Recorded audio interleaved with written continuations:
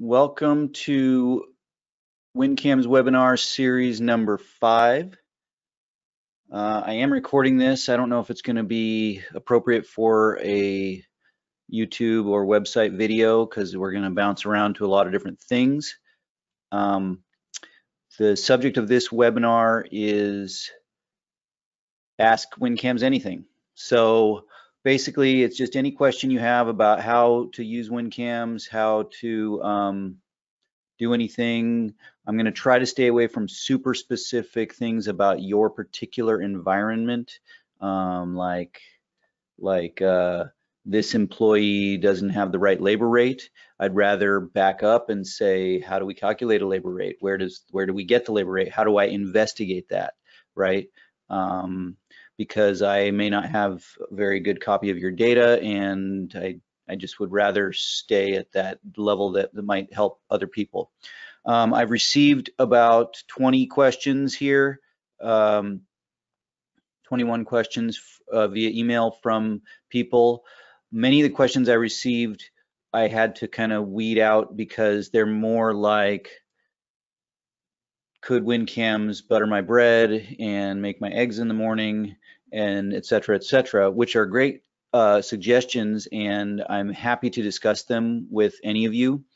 But um, and and sometimes we can discuss them here. That's I mean you know maybe there's a, a you know why doesn't it do this or or things like that. But um, a lot of times that ends up into a discussion of well how would that work and a back and forth and maybe a cost quote or whatever. Okay, so um, if I mess up and don't understand your question or don't get to your question or whatever, please email me and we'll do it uh, off outside the webinar.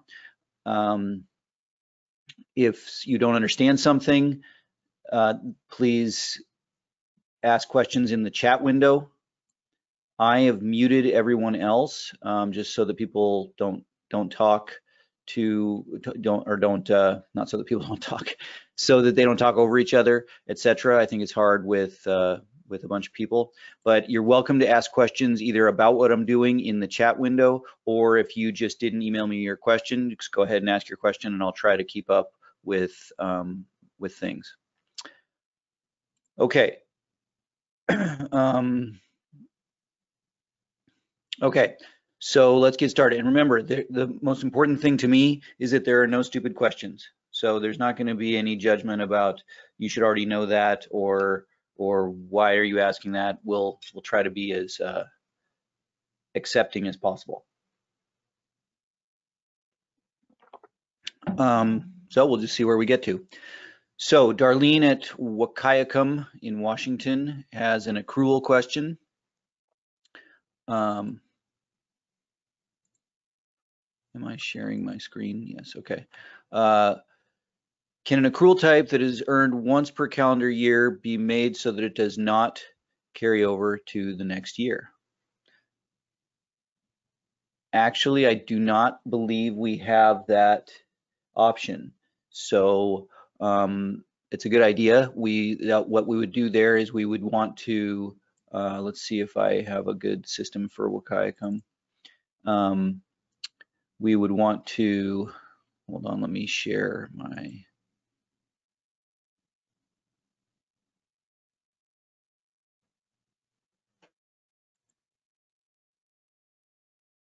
monitor one, there we go. Um, so what we'd we'd need to do is is create a, a checkbox or something in the either the accrual type or maybe in the accrual rules so that it could be for different for different people or maybe even in the employee accruals. It's really tricky with WinCAMS, right? So if we put it in the accrual rules or if we put it in the accrual types,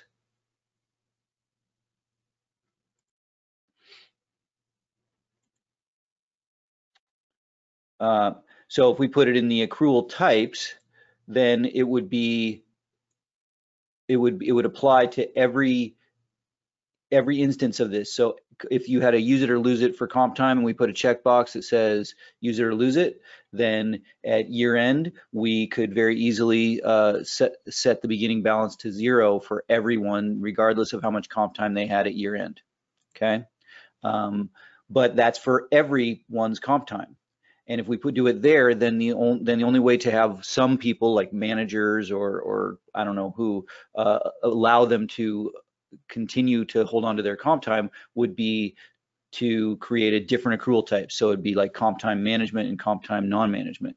Um, then the next level of detail is that we could do it here in the accrual rules so that when you have a bargaining unit and then the floating, let's say for floating holiday, then we could say, um, you know, don't, don't, uh, or, or whatever, reset to zero each fiscal year.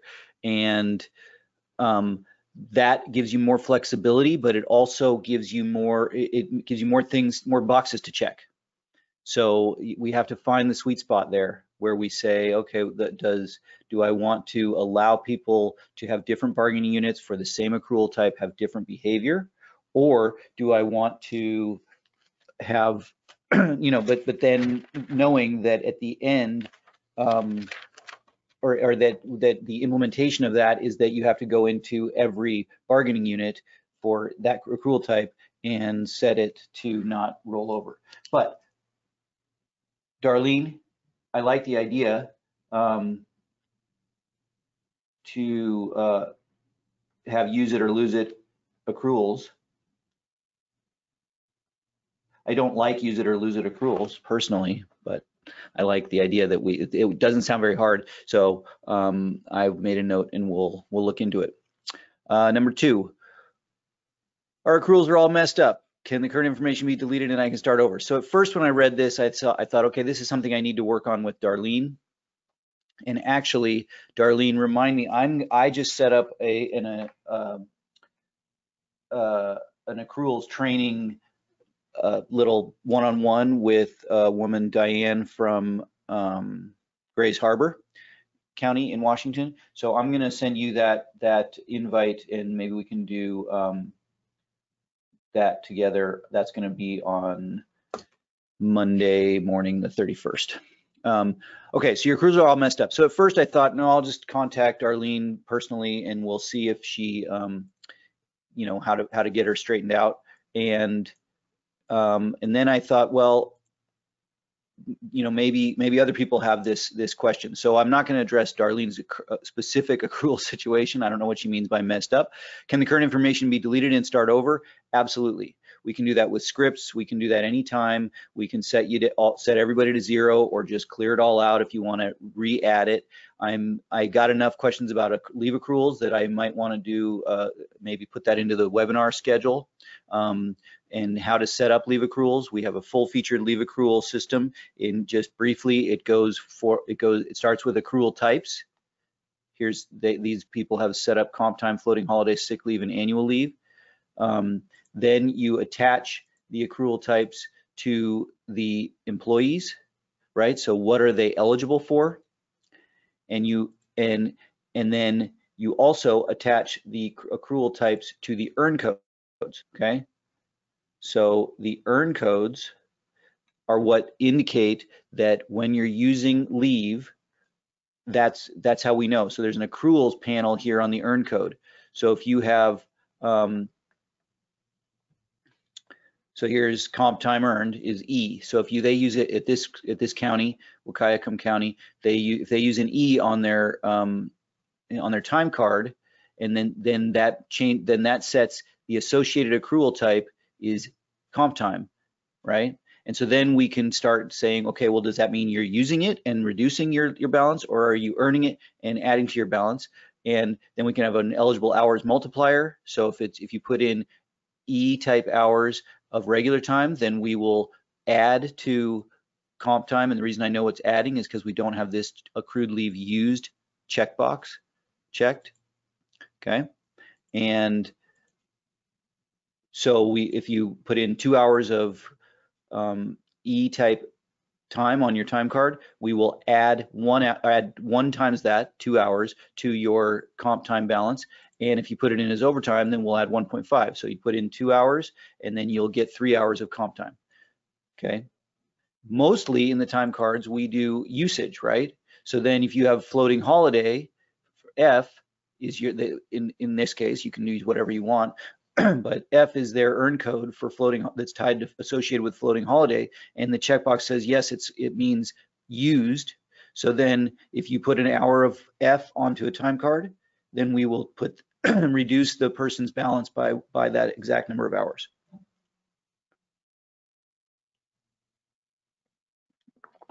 So um, where you're going to see this is in um, in the accruals tab of the excuse me the um, the employee screen. So um, so any accrual type that this employee is eligible for needs to be listed here. Okay, and when you add one, if you add an accrual type, then you it will ask you for beginning balance. Okay, so I'm gonna delete annual leave real quick. Let's see if it'll let me. It's saying this accrual type has details associated with it. You're sure you want to continue? It's are you certain? Yes, I am. Three triple check. Uh, this is not their data. This is my copy of their data. So if I add an accrual type here, um, see, I need a annual leave, right? Then it asks me for the beginning balance. Normally, I like to start with a zero, zero beginning balance. If you're starting with, if you if you have people that of course already have balances and you want to start out, then I might put in 30 hours here. But I also might like to enter a specific adjustment later. That's how many hours. So I'm going to start with zero. Okay. If I want to mess with that later, this button here allows me to update the beginning balance. Okay.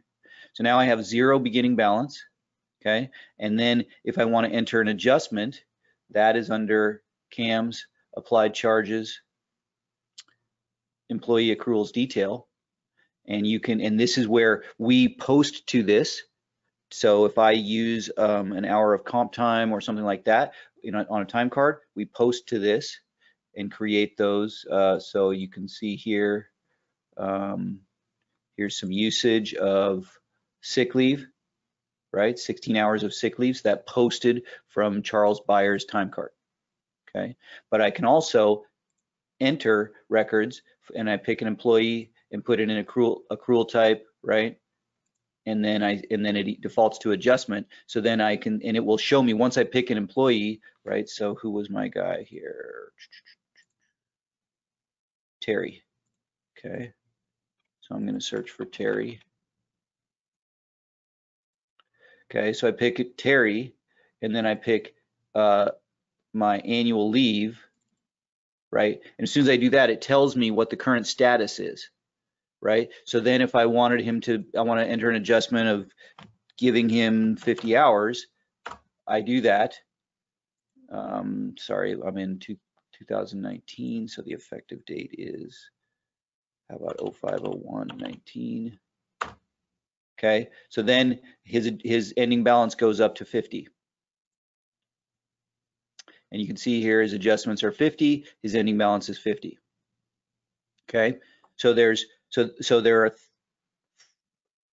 three or four ways to to modify your leave. One is through the employee accruals detail. You don't want to do that normally, but if somebody, that's how you would do maybe like um, if every if people are donating leave time to someone who's sick or has a, a catastrophe in their life or crisis, or if you just want to if your leave accruals are off and you just want to adjust them to match up with your with your auditor system or or or if I don't know some whatever somebody has quit and then come back and they they get they get to or they transferred from another department and they get um, they can they you agree to do um, to set their or they can transfer their leave. I don't know. So that's adjustments.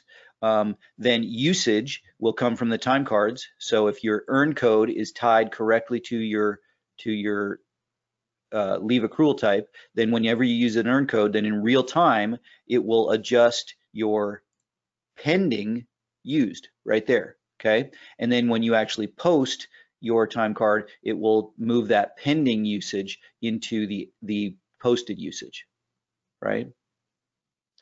And then the earnings, earnings can come from time cards, particularly with comp time, right? If I work some overtime, I can say I want to earn comp time. So that that does happen. Um, but the earnings normally comes through the accrual rules, okay? So here is floating holiday for, and these are by bargaining unit. So this says no matter how senior you are, at, at uh, once per calendar year, you get eight hours, okay? And you can set maximums and minimums and warnings and things like that. And and uh, so let's see, let's let's do like vacation. So here is these guys are very simple. People on management annual leave, they get um, once per payroll period, they get eight hours. Okay. A lot of times you have multiple rows here that says your first, like here at, at CSS, your first five years you get 10 days a year, and then uh, after, then you once you get to five years, I think you get 15 days a year, et cetera, et cetera. Okay. So you'll want to make this uh, fit in with your with your county rules. Okay. And I'm happy to set that up for you. And actually, uh, if, if, maybe we'll make that into a real webinar next Monday. Um, we're uh, with with uh, Diane at Grays Harbor, and maybe I'll, and if anybody else wants to learn about accruals, I'm happy to, I have some documents on it and, and we'll, maybe we'll record that webinar or you can participate in that webinar as well. Um, so it's pretty full featured. So if yours are off, there's no reason for them to be off. We just need to get them lined up. It can be a little bit tricky because what happens is you say, okay, I'm going to get a report from my auditor that says Aaron has 20 hours of vacation. Okay, great. But Aaron's already entered his time and maybe things that affect vacation, you know, the auditor report is from two Fridays ago, you know, that kind of thing. Another place I've seen people get really messed up is this this year range. We had this at um, Island County in Washington, where their documentation in their MOUs said something like through the third year They literally use those words. And so if you say through the third year, what does that really mean? Well, to me, that means begin year zero and end year, uh, let's see, 2.99. And that was really hard for them to understand because your first year is zero to 0.99 or zero to one, if you want to say that. Your second year is one to two and your third year is two to 2.99. But they had it zero to to 3.99 but 0 to 3.99 is four full years right or 0 to 4 is four full years right i like to give people birthday cards like on their 40th birthday or their 39th birthday you say you, you write in it you know have a great 40th year and they say oh no i'm 39 but it is their 40th year that's starting right because we all start at zero um, Okay, so um, and Darlene's question is also, um, is it better to do this at the beginning of the year? Um, doesn't matter. Um, it is, it's we can wait or or not either way. Um, Darlene's last question is, in preparing for budgets, this has never been used. Blah blah blah. Do how do I enter our approved budget amounts for each account? Do I have to go through the steps, requested, approved, adopted, or will I be able to just enter the adopted budget? Great question, Darlene. Thank you. Okay, so completely switching gears. Um, if we go into the budget ledgers, I'm just going to be kind of cleaning up as I go, trying to keep me from having 50 windows open um, and making sure that, yep, you can see it. Okay, so um, so here's a budget. Your your format may look different. Uh, this is again what Wahkiakum's um, budget format. They have one, two, three, four, five, six, seven elements. Um, yours may have three or two or four or six or whatever. So if you go to the appropriations tab, you'll notice here there's no budgeting, right? So this is fine, um, but what this means, if you have no budget here, that means that we will post to expenditures from say invoices, journals normally, um, in Washington, even from time cards and material usage, equipment usage. Uh, and we'll post to encumbrances from encumbrance documents, POs, contracts, etc. But we will not know how much you're expecting to spend. So what that means is that your um, unexpended balance is going to go negative and your unencumbered balance is going to go negative. And that's fine. We don't actually care. Um, if you click on a um, budget in the, in say, an invoice, right, then it it'll show up in yellow at the bottom, meaning that it's underwater, meaning you've overspent this budget. And that's fine. I'm, we're not complaining about it, but if you want to put in appropriations, it's very easy. I'm about to do so. So if I go to uh, this budget here, or I mean, sorry, this invoice here, right? So if I click on that in that, okay, this one, this one actually is blue, so it has money left. So that's great. Okay. So if I double click here, I can go to it. So they have a $14,000 budget. They've spent 1687 of posted money so far. So they have 12,312 um, left. So that's what I see in the budget, right? But if I go to, um, oh, well, so they've really, okay, here we go. This is what I'm talking about. So this one is yellow because it's underwater. Now they did put in a budget, but they overspent it by $517. So that's fine, okay? So I'm gonna go back to that one that was blank and I'm going to go to the appropriations tab, okay? And we normally put this in for you. This is what allows us to have um, this year here. If you want multiple years, you can put in multiple appropriations and it will create like a 2018, 2020, 2021, whatever. That's only if you need to um, put in an invoice and or a purchase order that, that references that year. So I'm gonna go to appropriations. You can just, I'll delete this record real quick you can put that in. I'm going to say, since we're working in two, year 2019, I'm going to go 010119, not 14. Okay, and I'm going to say uh, adopted appropriation is the one I want. Okay, and I'm going to say $1,000. I might have a comment like a resolution number or something like that. I might link a file that whatever I want to do, right? So, so that there's no need to post, there's no further things you need to do. You don't need to go through this whole, each step of this. You can just put in the adopted appropriation original and then it will show up as 1000 here. And then when you reference this budget on an invoice, um, I'm gonna copy this invoice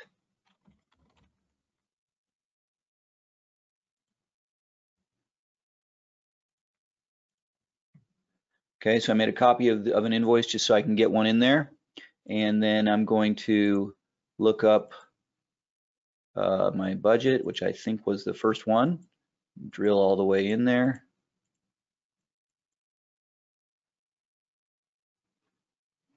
Um, so you can see that it comes up with that budget name and $1,000, right?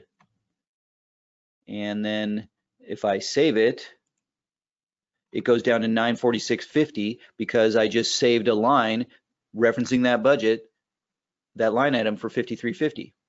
So a lot of people don't put in appropriations because they say, well, that's not, that's the auditor's job or whatever. But I think it's super easy and it gives you a nice, um, you know, feedback. So if I was to accidentally type in, um, I don't know, 5350, right? Instead of, so, so I did that, then well, first of all, I'm out of balance with my invoice, but if I go here, I'm it's a, it's yellow in the bar saying I'm underwater by four thousand three hundred fifty dollars. So that's good feedback for me to know that I'm that I'm not there. And I can see that I have a pending balance here of fourth of negative forty three fifty and pending expenditures of fifty three fifty, and I can see that here in the budget expenditure ledger as well. There's my invoice test. Okay, and then one if I post it, then that's fine. That the pending will go down to zero and I will put $5,350 there and then my unexpended balance will be in the negative again.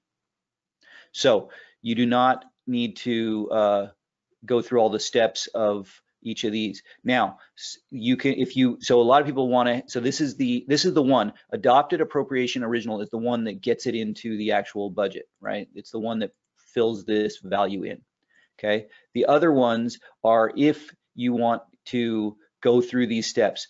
Budget requested, budget approved, right? We got to get budget adopted, we got to get it to, a so if you want to keep track of each step of the way, be my guest. But what you want to get to is adopted appropriation original. Now, if then they come back and say, you know what, we ran out of money and we need to put in more, then we can do adopted appropriation adjustment and we can do say another $250 and I should see 1250 now.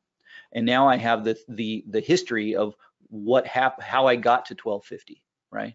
I could have also just typed over this and said 1250, that's fine. But uh, this is nice because I, I have the history. Maybe I put in a comment about why or who requested it or a resolution number or something like that.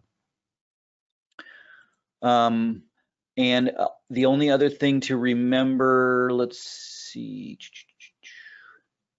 I believe that budget adopted will trans, don't quote me on this, but I believe the budget adopted, if you put that in, in, in this year, then when you transfer to the new year, it will become your adopted appropriation in the new year. So the year end will do that. Okay. Patrick from Tulare. So we're going to be switching gears really fast here. I apologize if it's if you know put it in the chat if you don't understand something or something doesn't make sense. Um, but uh, so now we're going to uh, utilities AR, posting and post credit balances. How does post credit balances work? How does WinCAMS know when a receipt is overpaid and when to allocate a credit to unpaid charges? Okay, great question. Thanks, Patrick. Um,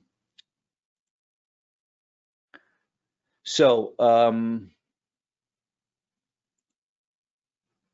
this this client does not have utilities so actually I'm going to leave them up and so I'm going to run Patrick's system.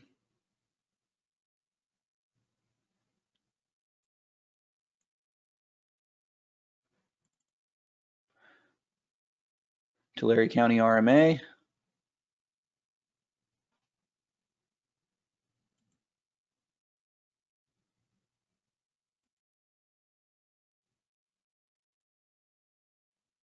Okay, so what Patrick's talking about is in utilities AR, and actually this applies in, so in all of WinCAMS AR, we are what I would call uh, document-based AR. So there's there are two types of AR in this format that that that I, in my my world, right? So if you have um, an account or a tab at the bar, right? They does anybody still have tabs at the bar? Um, they so you go in and you have a beer and they say okay it's uh, five dollars. And then you go in and have another beer and it's now you got ten dollars. Well then when you want to settle up they don't ask you to pay for the for the the beer you had yesterday and the beer you had today. They just say you owe ten dollars and you pay against that ten dollars okay? So that's more of a of a i don't know what to call that but that's just a account balance type of ar okay? Now WinCAMS is more document oriented. And so what we want to do generally is we want to link up any payments to transactions. Okay. So if you so, and this is true in each of our AR modules. We have accounts receivable, that's general AR. We have solid waste AR, that's for landfills, et cetera. And we have utilities AR, that's for water and sewer billing, electric billing, whatever else you want. And they they all work pretty much the same way, but they have different, you know, obviously utilities has um, features that are related to energy consumption, water consumption, um, and has tiered rates and all that stuff. Uh, accounts receivable receivable is more generic for marinas, um, airport hangar rentals, any permit charges, uh, just you know, that's where our project reimbursable billing goes to. That's where our vehicle reimbursables go to. And then solid waste, of course, has information about delivery tickets and weights and things like that. Okay, so what we want to do is we're trying to link up each charge to a corresponding payment, or I should have said that in reverse. Each payment to a, to a charge. So when you put in a payment, we're expecting to um, to link them up, right? So what, which is great. So when you, if you've got some charges, let's see, do we have anybody with charges here? Um, what's going on here? Come on, There we go. Okay, so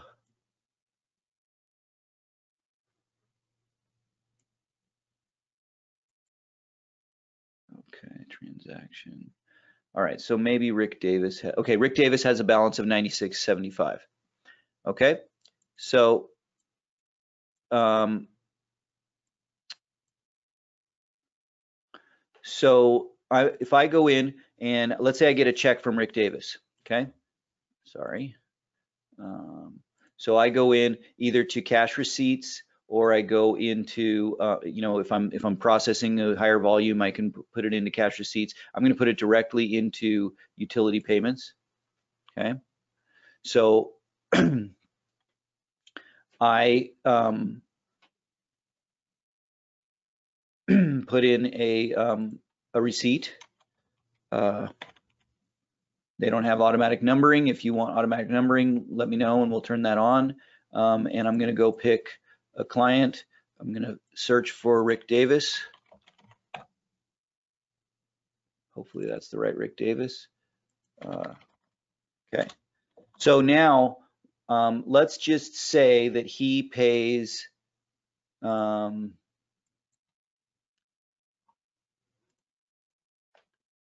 $300. Okay. Now I go in here to the detail and what WinCAMS wants us to do is to um, is to link up that $300 with his outstanding charges. So if you're in regular AR, this is going to be an invoice number that we're going to look to to tie the payment to or, or multiple invoice numbers. If you are, and we have in regular AR, we have some automate, automated buttons that say, you know, just apply it to, to their invoices in order. Um, this version doesn't have that, but it looks similar. So when I look up a transaction control number, it says here's two unpaid invoices. Remember, he had $96.75 owed, right? So then I have the same things. We just don't have the buttons exposed here. Um, but I have import oldest charges, or I can select rows, right? specific rows. So let's some people have like 10 different charges there and I can select the specific rows that I want to that I want to pay. If you have rules or whatever. Okay. So what I'm going to just do is say import oldest charges. Okay. So what it should do is it brings in the two lines, right? And of course it only brings them in to um, to the amount that they are, right? So 96.75. And you can see here, this is yellow and because I because he paid three hundred dollars. So um, in regular AR, you have the similar. You have actually two options. You can bring in the charges with their full amounts, and then you can manipulate the amounts, or you can bring in the charges up from oldest first up to the the amount you put in. Because many times people pay less than their full amount or whatever, right? But what what Patrick's question was was about overpayments. Okay, so now I've got an imbalance. I go in there, I'm like, huh. So maybe at this point, I look again at Patrick's check, make sure I got $300 right. May, I'm sorry, not Patrick's, uh, Rick Davis's check. Now, and maybe I, now I, maybe I, some places have different rules. Some places don't accept that. Some places have to return the extra amount, whatever. What, what you, if you're allowed to do it, what you can do is create another line that does not reference a transaction control number for the remaining amount right? And so that is $203.25, I believe. Okay, so now the yellow goes away. And so I have, I'm paying off two transactions and then I have one, one, I want I'm going to keep that 203, but it's, it's a, either a prepayment, right? So if somebody has a, a monthly rental of something, maybe they pay a year in advance, but they don't even have the bills yet to, to apply them to. Okay, so he, now his client, if I post this, his client number is going to show a that he's got everything paid off and he's got a $203 credit, right? So then when charges come in later, this is what Patrick's asking about. So when charges come in later, then you can enter the charges and now everything's right as far as the client, right? Let's say he gets a $100 charge. Well, then if you look at and you post that, what now the client has a $103 credit and everything's good. The trouble is that that charge for $100 never gets marked paid. So that's the problem with an overpayment or a prepayment in a document-based AR system. Okay, so the solution to that is under posting, you go into, in Patrick's case, utilities AR, and you say post credit balances. And this will look for any unpaid invoices where the where there are also payments that don't link up with an invoice or don't link up with a charge. Okay, so in utilities, it's called post credit balances. In um, solid waste, it's called post solid waste credit balances. And in regular AR, it's called, it's very wordy, allocate overpayments to unpaid invoices. So Patrick's question was, how does WinCAMS know when a receipt is overpaid? Well, that's exactly how it knows, right? So because I, you have to put it in. You have to enter the receipt as in you know with more money than than than is than there are charges available to soak it up right? And so then that posting once this was posted that post credit balances would say oh there's a 203 credit balance out here. I'm going to try to find unpaid charges. And if it finds one now, oftentimes it'll find an exactly 203 because things just crossed in the mail. So maybe it finds an exactly 203 charge. Then what it'll do is it will put that transaction control number right into here and make it look like things came in in order. So it's pretty slick. Now it gets even more interesting if the charge, as I said, was $100, because then what it will do is also pretty cool. It will add a, a fourth line here and it will change this amount to $100, link it up to pay off that other charge, and then make a fourth line for the remainder. So then you have a fourth line that is 103 25, which is the leftover. So no change to the um, client balance, but it, but then we say, okay, these three lines. So that so what can happen? Um, the simplest example is a prepayment. You you owe us $100 a month. Okay, I don't want to deal with it. I'm going to send you a check for $1,200. If your organization allows it and you can keep it, you can put in a payment for $1,200, and then each month as that hopefully you're using payment plans or something like that. But each month as those invoices are created and part of your monthly AR process is you run post credit balances or allocate over payments, it will take that $1,200 and make two lines, right? So the first line will say $100 paying off this new invoice, and then there's an unallocated $1,100 line. And then the second month, it'll be another, it'll create another line for $100 paying off the second invoice, and now we have $1,000 left that's unallocated. Okay. Um, thanks for your question. Set default directory setting on RO printing. Uh, this is from Natalie Ann at Chelan County um, in uh, Wenatchee, Washington. And so she says, I don't quite understand, set default directory setting on RO printing so that each user can customize their setting and have it change not and not have to change it each time. Okay, I'm not quite sure with the terminology she's using whether she's talking about directories or printing uh, or, or actually literally printing. So um, Can I clarify? Can you hear me? It's Natalie Ann. Hi. It's sure. me. Hi. um, yeah, so I'm talking about the print settings. Okay. Um, when you open up, when you go to print an RO. Okay. And just in brief, a couple of our shop managers, I think there were some changes made to this program within the last few months. And so what was set as a default print setting is now different. And we've just had some issues trying to get it back to that and staying at what they want it to to print as, if that makes okay. sense. Great. Thanks. Um, well, maybe I, I, I don't know, maybe you can unmute yourself. I don't really want to unmute every, everybody. Okay, you did. Okay, so if anybody wants to talk to yeah. me or or like tell, go ahead and do so. I'm not saying you can't talk to me, but um, I don't. You know, you're probably half of you are at home or whatever. Um, okay, so uh, Chelan County, beautiful Wenatchee, Washington. Um, so I think she was talking about ROs. So I'm going to go to ROs.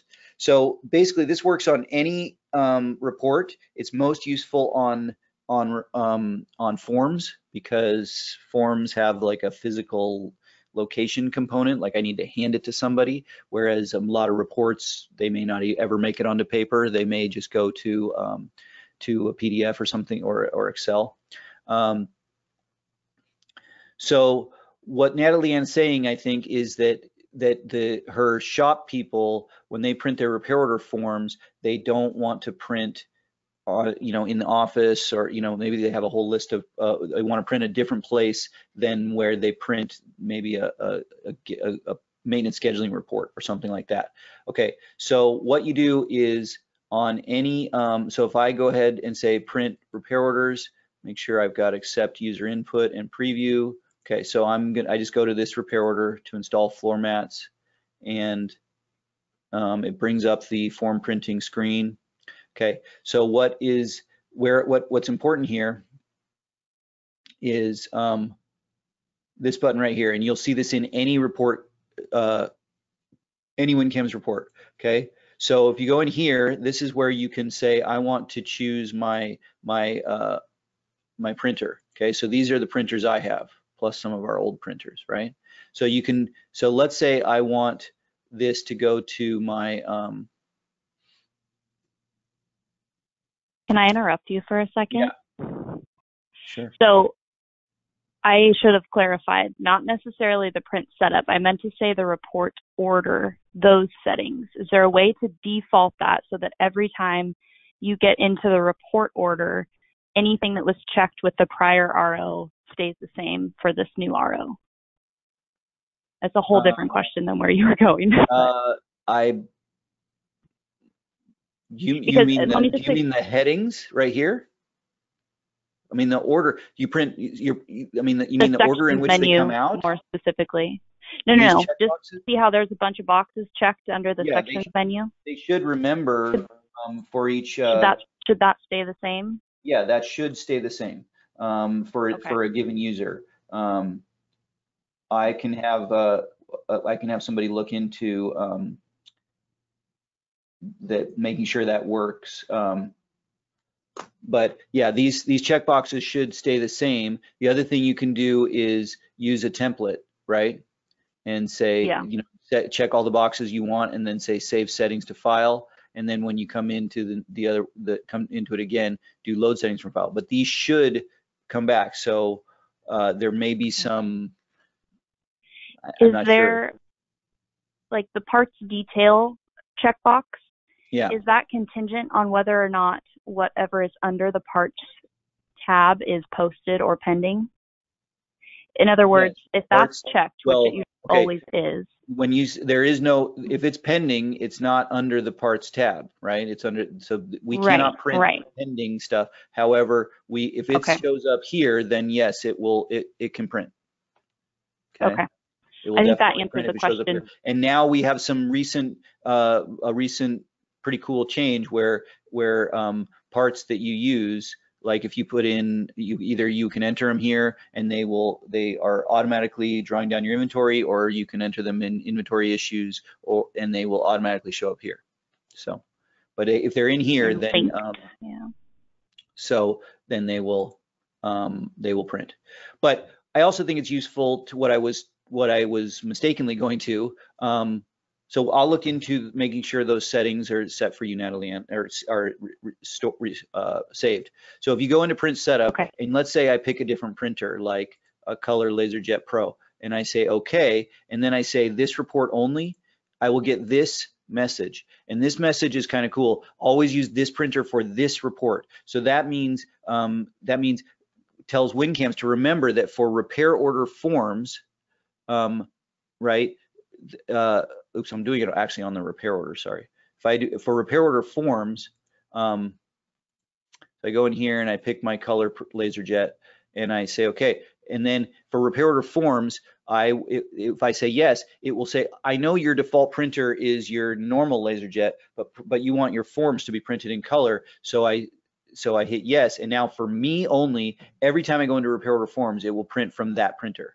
And so that's where we have an office staff maybe, and they print reports and stuff to their their local printer or whatever. But then when they get a call about a service request or something like that, and they want to print a form, maybe they want it to print on the printer in the in the maintenance guy's uh, you know office or something like that. And so then we can kind of that way remember multiple printers for specific operations. So that's kind of cool. Um, okay. Uh, I gotta get moving here. In Natalie Ann says in time cards, can we lock the date when entering new time entries for a certain group of employees? So I'm not exactly sure what you mean by lock the date, but um, what you're going to be, what our locking features are, are based on the status of the time card or another way to lock that I encourage people to use if they want is to go into your payroll periods, okay? And right here it says time card entry. So it defaults to all users. That means anybody can enter time in this period, right? So let's get to our current period. Okay, so here's uh, 8-1 to 831, right? So right now, I would, this isn't her live data, but right now I would want all users to be able to enter their time in 8-1 to 831. But if I go to September, I don't want all anybody to be able to enter it. So I can say no time card entry allowed period. That means Natalie Ann can't enter. That means I can't enter. You're just, everybody's locked. So if somebody tries to like pre-enter September stuff or they accidentally type September stuff, we will not allow it, period. And so what, so if you want to use this feature, what we want, what I would think you want to do is set all of your periods to no time card entry allowed. And then like maybe the day before or the or maybe on the first or, or the first day of the period, you you switch it to all users and you say, okay, time cards are open now. You can you can start creating your time cards, right? And then once the cutoff comes, you can there's a middle ground where you say timekeepers only. And then we don't then you can't have employees doing it, supervisors can't can't mess with time cards. We're now in the auditing process and we're expecting to um, you know so so that's pretty heavy handed but if you want to use that you can and then the other way would be um, going into this is, is by utilizing the statuses of the time cards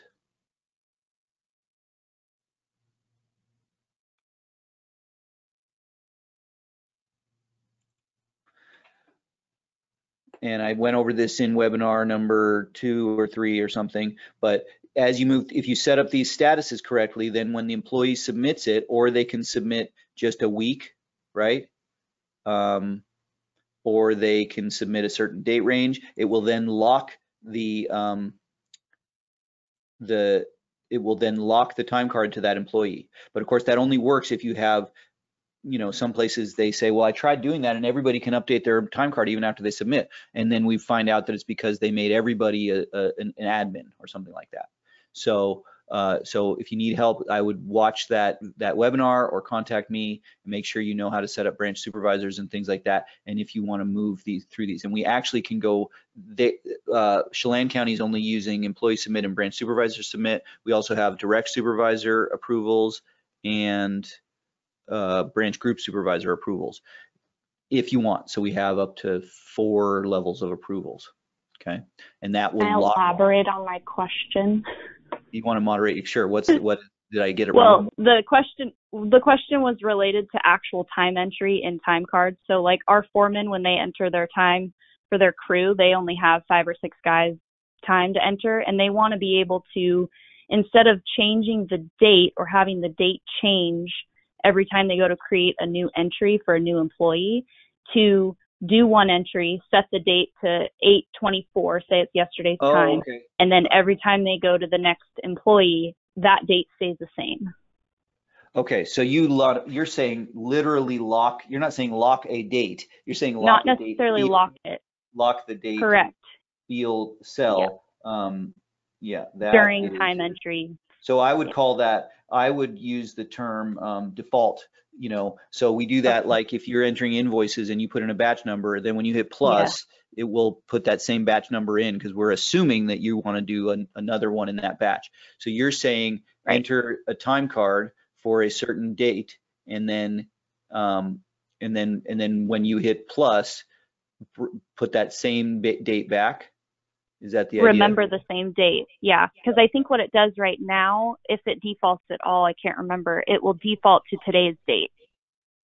And yes. but most of the time, the you know, they want to enter two weeks time. I think maybe we should have ago, yesterday. Or, which, whether you want to lock which one of which one of these because you might because the as soon as I do that, so here it will default to today. You're right. As soon as I so if I put a checkbox here that says you know lock this value, then yeah, then the, the next person will say, or I'm, I'm sorry, if I did that, that behind the scenes, the next person will say, well, no, I don't enter them like that. I enter for the same employee for multiple dates, right? And so, so then I, it'd be cool. So I think we had a checkbox on each one of them so you could lock either one as you move forward, right? Um, yeah. that. Just something Okay, like that, I just made- so they less things enter.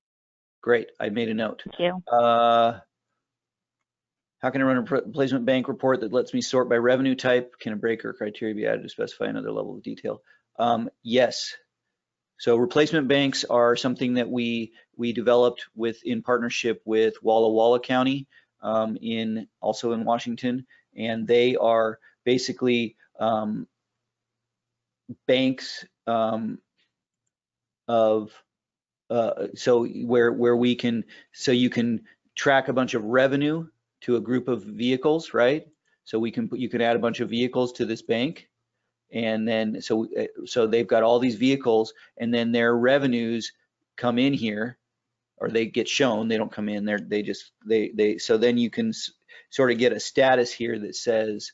Um, uh, and you can run a report and then you can manually enter expenditures. So you can say, okay, we've received revenues for for this group of vehicles, you know, for replacement of fifty thousand dollars, and then we're going to enter an expenditure against that fifty thousand dollars. So that you know, so we so that because it doesn't apparently, as the guy who suggested it to me said, it, it doesn't really work that a single vehicle gathers up all its replacement value and then and then you need to create an and then you uh you create another one. So I think Natalie Ann is asking is to add revenue type to the replacement report, pr- presumably because she doesn't want O and M revenue to to play a role. She wants like only replacement revenue to to play a role to find out what she's how much she has in that bank. That's my theory. Okay. Um, You are correct. So what I will do is I will add uh, revenue type to Will it be a selection criteria or a break? It'd be a it'd be Um, a It criteria, would right? normally be both, but I think what you want is selection Okay. criteria. Normally, what Okay, I, yeah. if it makes sense, I try to add, I tell the guys to add it as a, a selection criteria, a control break, and an optional column. So that you I was gonna say a column would work too. Yeah. right. But you, I think what you want is you say, I want to see how much is in the motor pool revenue bank, but I only, but I don't Yeah. want this line and I don't want that line. I only want that line, right? Correct. Yep.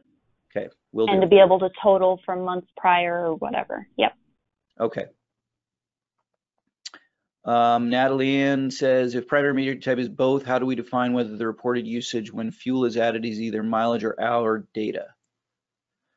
Um, that's a really good question. Boy, Natalie Ann. Uh, I know. I'm just right now they're coming in as um, they all come in just under meter, right. and So, the hour um, type is So what, usually blank. what Natalie's Ann is talking about is, I'm, I'm not sure I know the answer to this. So in your vehicle master, you have a primary meter type and that can be odometer or miles or hours or both, right? And when you set it to both, as Natalie Ann's talking about, she, you get, um, you'll get your operational tab will change and it will show uh, it'll get two panels so let's see here operational I can give you an equipment number that so will have So this one has miles right uh, only right? And then and so if i because it says miles right there and if i go to if i change it to both then what should happen is if it'll what's going on? Come on save. There we go. Um, what should happen is that the operational tab will now have a meter an, an odometer area and an hour meter area okay And so in here, we keep track of meters versus hour meters. But what she's asking about is in fuel. So in fuel data entry,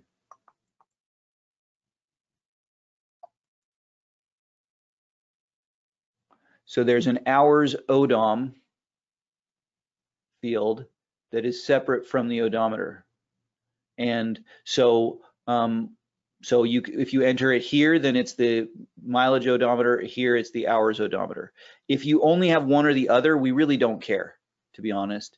If you only have if you if you if you set that setting in the vehicle master to hours or miles over here.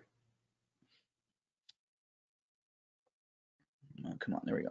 Uh, if you set this to hours or miles, it really doesn't make any difference to us. The only change that means for us is that we uh, is is that if you're in hours, then we do um,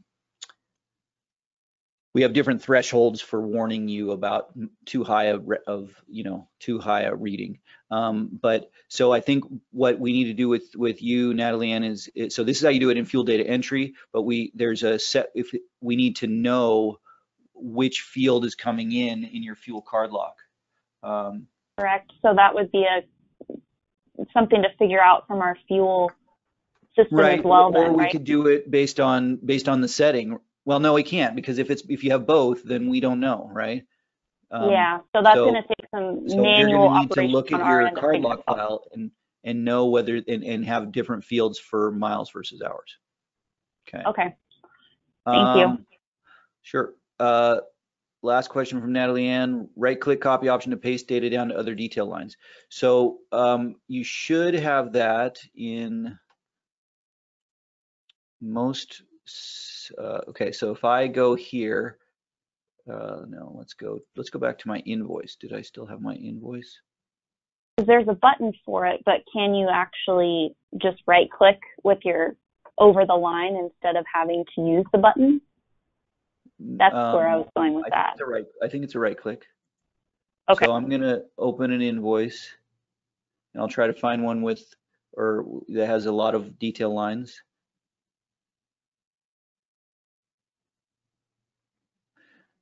So what this, this feature, and maybe I'm again barking up the wrong tree, but um, what this feature, so somebody said to me, oh, I entered a time card and it's got 12 lines, or entered an invoice and it's got six lines. Okay, every every invoice has one line, two lines. Come on, there we go. Okay, so I entered this invoice and I realize now I'm gonna make a copy of it so I can play with it.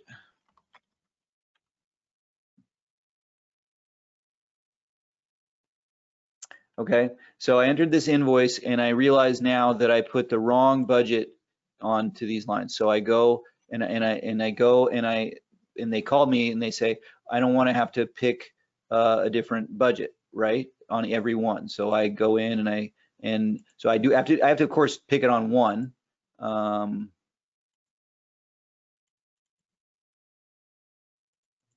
okay, so I pick it on one and I save it. Um, let me make sure. You know, I'm getting into some. Okay, let's just clear this. So that I can show you what I'm trying to do here. Parts. Get these off here. Okay. Um, so I've picked, I've changed my budget on the one line. Now, if I right click, I've got copy budget expenditure account to the other detail lines. Okay. So, so I've got this one with 34, 34, and 31, but what I really want is this. And I don't want to go back to each line and do it. So no matter how many lines there are, I can right click, copy that budget. It confirms and I'm, and now, now they all match. I should be able to do this on uh, any of them. Okay, I, I, I misspelled something into the, the description or I just forgot to put a description in. Um, copy description to other detail lines. There you go. Does this work in other programs as well, It should. Uh, like shop inventory issues or inventory Uh, let's see. master. not in this one. Um, you could send me an email if there's, you try it and it should, I mean, we, we definitely implemented it in some of our main ones. I don't know if it's in shop inventory issues, but shouldn't be hard to add. Okay, Okay. thank uh, you. Sure. Sue from Deschutes County Solid Waste. I was just in Deschutes County a few days ago, um, backpacking and um, in Central Oregon. Uh, emailing statements. So we do have emailing functionality in several areas, um, in uh, assigning service requests, um, uh, vehicle maintenance scheduling. We can email. Um, there's several areas where we can can create an email. We do need to set it up with you. Um, we've never gone to the level of emailing statements, but we're getting very close to it. Um, the problem isn't the emailing. We can set that up for you pretty easily. The the issue is normally printing directly to a PDF and then attaching that PDF to the email and then emailing it out, right? And not doing them one at a time. So you what you probably want to do is you want to you want to basically do 100 PDFs um, separate files and then attach each of them to the correct email to that person. So um, we'd have to, we'd, so we, we can do all those things and we are, um, we are very close to printing directly to PDF. You can always choose a printer that says, you know, like your PDF writer printer, if you have one, when you're printing, um, and we'll print directly to PDF. But what we don't do is, you know, create, if you, if you want to print statements for 50 clients, we don't create 50 different PDFs, right? Unless you do it 50 different times, choosing different clients. So we are working on that, and in particular, we're working on that with um, payment processors. So we have a couple clients that process a lot of payments, and we don't do point of sale stuff um, with credit cards or anything. So we are working with uh, Point and Pay, and they um, and they do that kind of thing too. So basically, we send them uh, a a file of saying Aaron owes this much money, and then I have the option to go on. Aaron, the client, has an option to go onto the website, pay with a credit card, see how much they owe, etc. Then Point and Pay sends us back a file that says, "Hey, Aaron paid," and then we automatically create your cash receipts for you or your payments. Um, so it's pretty slick. Um, they also any payment processor, you don't have to use Point and Pay, but any payment processor will also have the ability to um, have us send them PDFs or uh, or whatever, and they can either print, do all your mailing for you and your envelopes and your stamp licking, or they can actually um, just do that emailing for you, right? And manage it all for you, and they and encourage people to use their online payment processing and I don't know what they charge, you know, a few pennies or something per per um per mailing or per uh per payment process. But one really cool thing is that in all, all of them that I've talked to, their business model is basically no cost to the county. Um, so what they do is they say, you know, when you you, you send them your your um, information, and then when people go to pay online with them, they have a convenience fee. And so say they pay $2 convenience fee, then Point and Pay takes their cut out of, out of, or that's where they get their money and they don't charge uh, you any money at all. So my, you know, we, we, tell me the which, which way you want to go. We can, we can, there's two, two avenues here. One is to, um, set it up so we can print multiple PDFs and attach them, work, work on it. You know, this would be a change order for us where we would attach them to emails. And of course, we'd have to make sure that we know who to email and blah, blah, blah, and the format of the email. But we already do all those things. We just need to put it all together.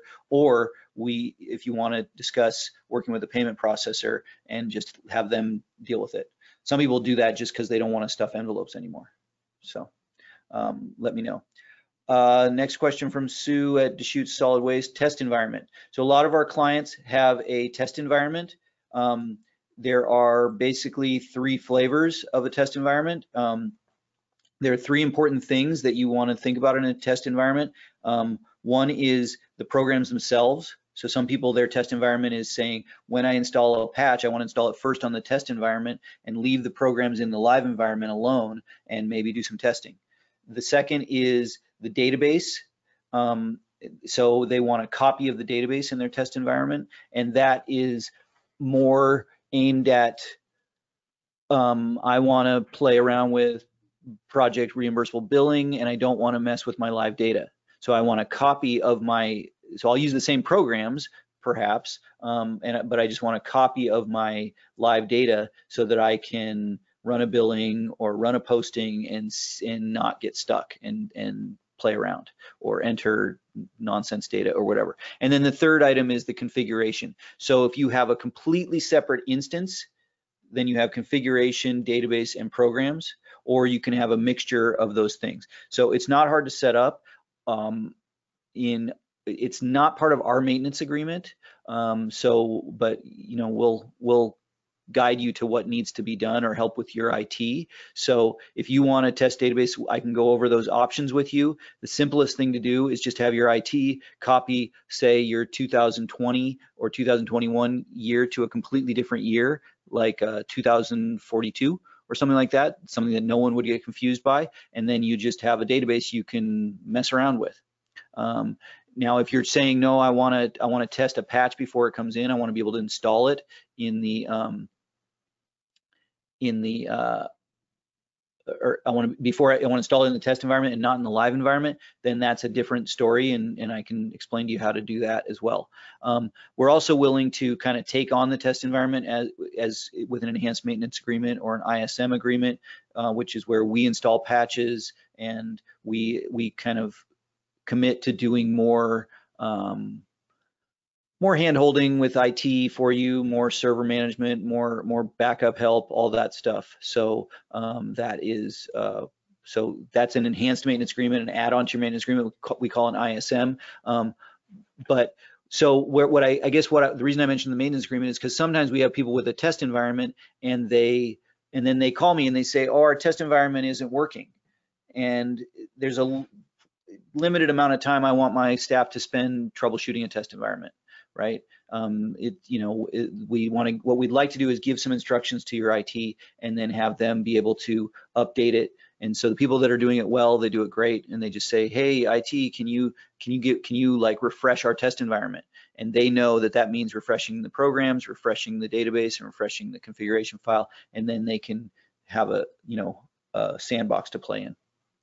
Um, so contact me if you want to uh, set that up.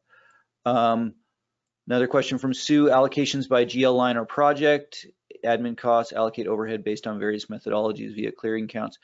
Okay, so that's a big question. Um, allocating overhead, well, so these allocations by GL line or project, you can certainly do that with a um, with a journal. If you say, okay, I've got um, I've got a total amount of overhead and then I want to break it down. I've run a report of the amount I spent on each of these areas and then I'm gonna and then I've put my overhead into my my spreadsheet and then it's proportionally given me amounts. Well, then you could load that into a journal and charge overhead. That's kind of a manual way of charging overhead. Um, the traditional way of charging overhead in WinCAMS is through labor.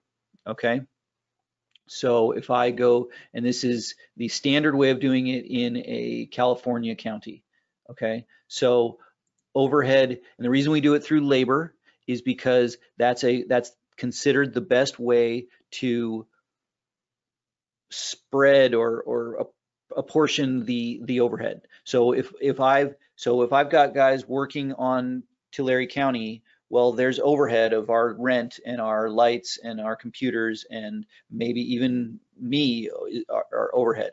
You know, maybe WinCAMS is overhead in your environment. So your WinCAMS maintenance charges are considered overhead and you compare that to the total amount of your labor and you get an overhead amount, okay? Or an overhead percentage, sorry. And so, and, and I wanna clarify, that this is different than fringe and non-productive. Fringe and non-productive are normally set by employee, right, for how much fringe and non-productive they get. Um, but overhead is normally, let's see here, I don't have overhead showing. Overhead. But overhead, okay, this county, there's some. Okay, so here is uh, MG number two, this division, design, development, and construction, signal maintenance. So anyone working in signal maintenance has an overhead. Well, uh, as of March 1st, they had an overhead of 80%. On March 29th, they went, their variance, they decided their variance was too high, so they increased their overhead. I have no comment on whether that's okay to increase on March 29th, but that's how you do it. So what ends up happening is any labor charge, any weighted labor rate that has that, that use references this activity code will get an overhead amount on it, right, of 95%. So then when you post to a project or a road or or anything, we will post $100 worth of labor and $95 worth of overhead. And if you are a California county that uses cost centers, we'll post $100 of labor to there, there and clear it to the labor clearing account. And we'll post the $95 of overhead to there and clear it to the overhead clearing account. Okay. And it's a really slick way of doing things because then, you know, if I have overhead, and let's say I run a mechanic shop and I have uh, the heating and the small tools and the miscellaneous lubricants and coveralls and the swamp cooler and new roof or whatever I'm doing on my in my shop anything that I anything that gets to the point where I don't I can't allocate it to a specific job then I throw that into my overhead and I calculate a percentage and then every person a percentage as as relates to labor and then every person that works on a car they will just carry this burden of overhead with them right? And so then they've got their applied labor rate and then we throw the overhead and then if I work on three different cars it gets spread evenly. If another car never comes into the shop it doesn't get any overhead. So that's that's kind of the the methodology I prefer um, I'm happy to go into further detail of, of that with you um,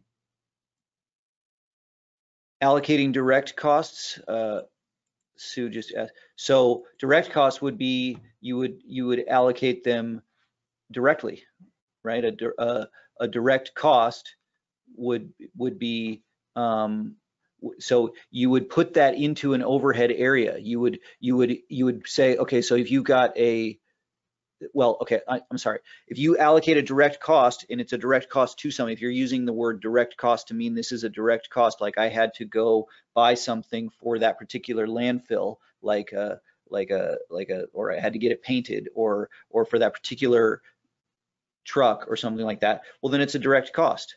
And so you put in an invoice or a journal and you reference that specific thing. And I think Sue, in your case, your landfills are projects. I believe. So you would put a project onto the invoice where you paid the direct cost. If it's if you are buying like a bunch of supplies or paying a bill that is that is uh, versus calculating and charging individual AP detail lines. So okay, so what what I think you're saying here is you want to allocate a way you you want to buy something or pay a bill and then you want to spread it across a bunch of different things. Okay. So one way to do that would be to put that into an overhead bin uh, or a cost center or an overhead budget and then compare that, you know, and then say, okay, so our total labor was a million dollars and our total overhead area was $800,000. So we're going to have 80% overhead next year. That's a very standard way of doing cost accounting. Or if you want to literally apply it to each of your 12 projects or each of whatever, then what I would do is I would go into your invoices. I would do it once. I would pay this bill and apply it to all the individual detail. You have to do it once because I can't do it for you. Um, and then you would use a distribution code. Okay. And so I'm going to take this invoice, right, that has all this, whatever these budgets are, and this break and even this percentage breakdown, which you've decided on, and I use this button here, create distribution code from invoice. Okay, so I create a distribution code from the first time I use that invoice. Okay, and now if I want to go see that distribution code, it is right there in in uh, direct charges. And by the way, this also works in journals okay? So what the heck? Uh, okay, I've got too many. Um, okay, my invoices are in Chelan, so I need to find Chelan. Sorry. Okay. So what I did there was I, I created the distribution code in, there we go, in Chelan, and then I and then I went to the distribution codes program in Tulare. Uh, there's distribution codes. So now what it created was the details of that line. Oh, cool, they already have some, neat. So here's mine, okay? Here's my test. So it created four lines. Uh, remember, I, I put the same budget code on all of them, but whatever was there, this could be four different vehicles, 40 different vehicles, or repair order, whatever, whatever's there. And you'll notice that it took away the amounts and instead put percentages. Okay, so now when I go and do a, a new invoice,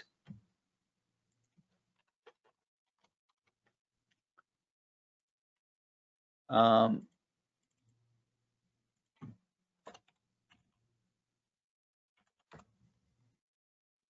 um,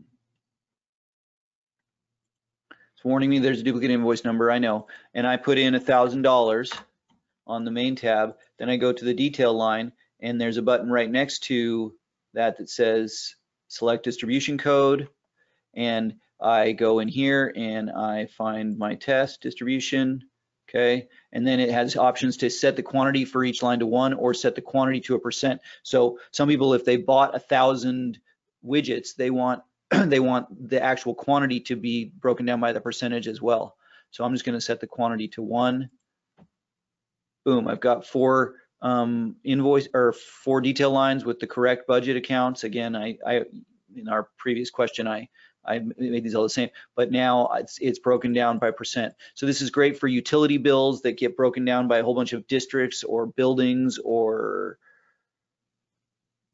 I don't know what you know and anything um, and and then but have a changing amount. If the if the amount's the same, then then making it a recurring invoice or copying it works great. The other thing that's nice about distribution codes, besides the the um, calculation, is that it persists from year to year. So if you are used to copying an invoice, that doesn't persist from year to year. So if you want, you'll you'll want to do that through a, dist, a distribution code or through making the invoice a recurring invoice uh, on the references tab okay?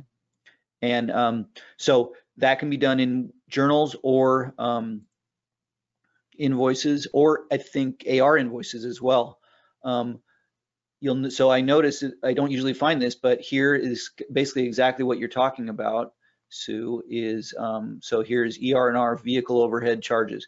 So um, so they they basically listed out all their vehicles here and gave them each 0.7874% of the overhead. So then when they figure out what their overhead is, they can put in a journal for $100,000 worth of overhead, and then they can pull in this uh, this distribution code, and it will spread it across all these vehicles automatically.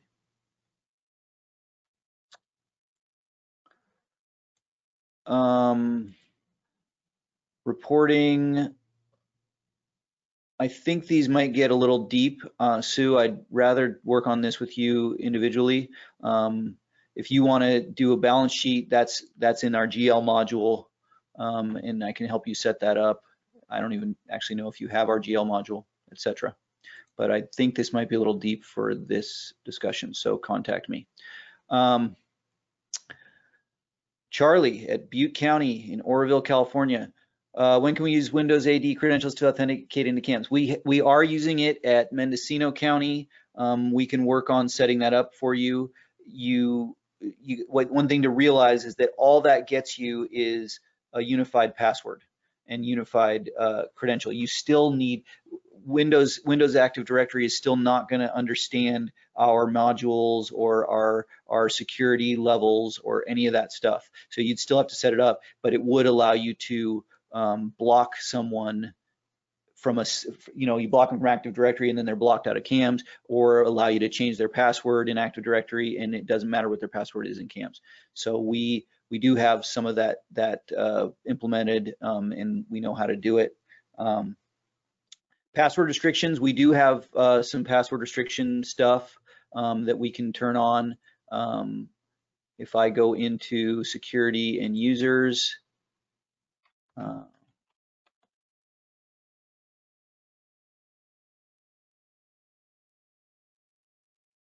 it doesn't look like they're turned on, but we now have expiration dates and we have uh, some things that we can turn on for you that um, will enforce some of that stuff that we all hate, uh, like uh, it needs to be a certain number of digits or certain number uh, special characters. I think we have some stuff like that that um, that will that will enforce that. We also have the ability to set locks for a certain date and time, um, and you in here you can show locks for all users um, as well, so you can lock people out for a certain amount of time.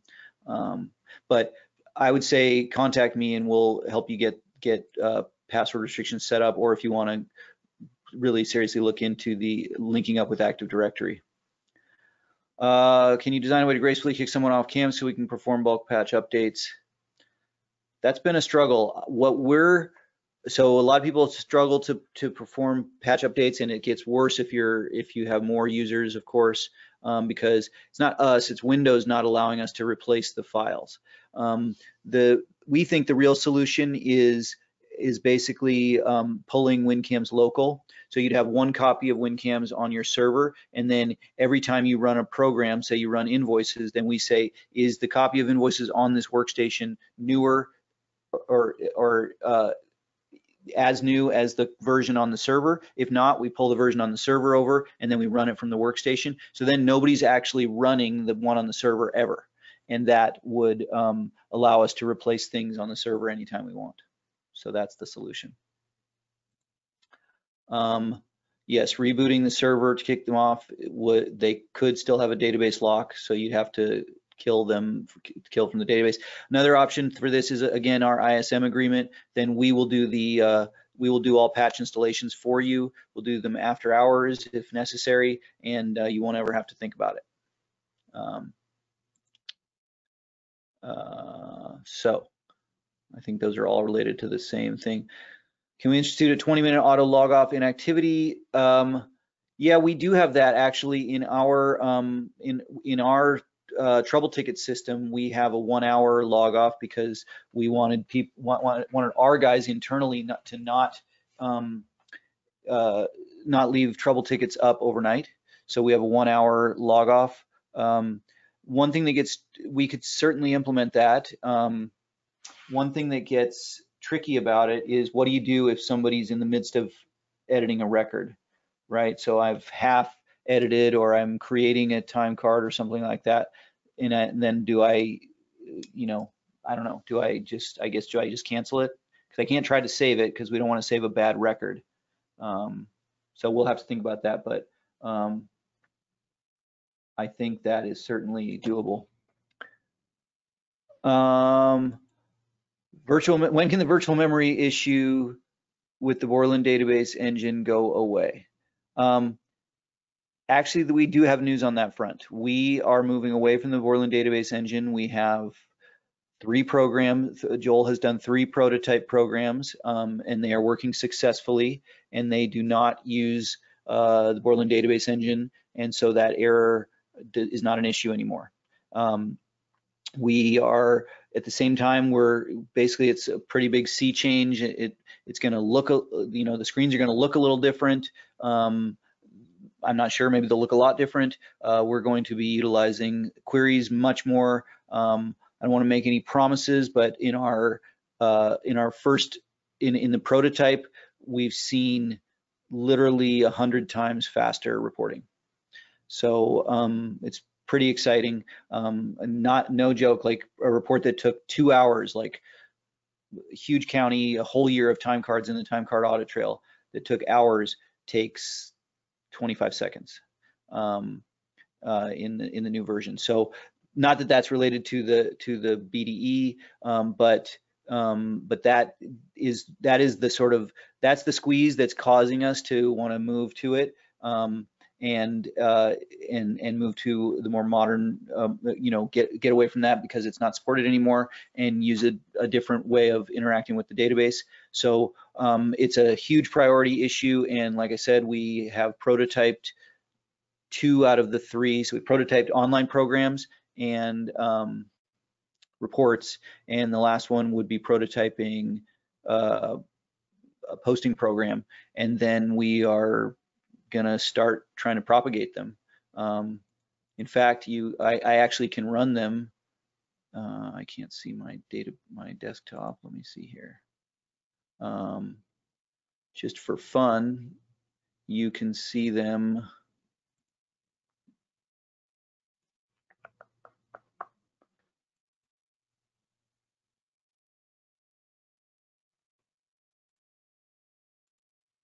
So this is a version, a new version of WinCAMS that is running, we only have a few programs, but it's running without the um, without the BDE and using a new tool.